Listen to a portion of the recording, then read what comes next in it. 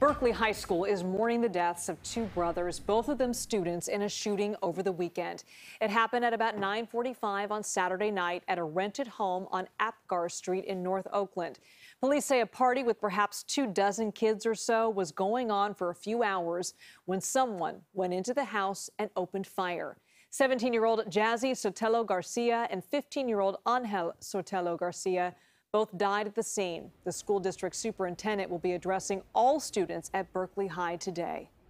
There's never the right thing or the perfect thing to say, but what I want to make sure that in whatever I say that they hear and that they feel that we are here for them, um, that we are that we are going through this as a, as a community, that this is impacting us collectively, um, but that we know it might hit them differently as youngsters, right? Still still learning how to experience and deal with grief.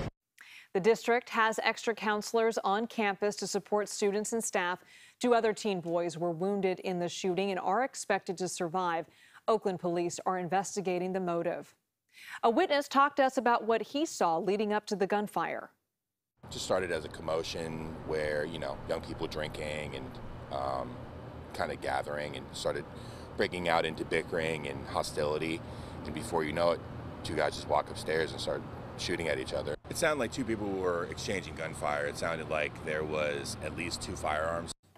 The family describes Angel, the 15 year old, as a gentle soul who loved and cared deeply for those around him, and Jazzy, the 17 year old, as the quieter one who tended to naturally assume the role of protector.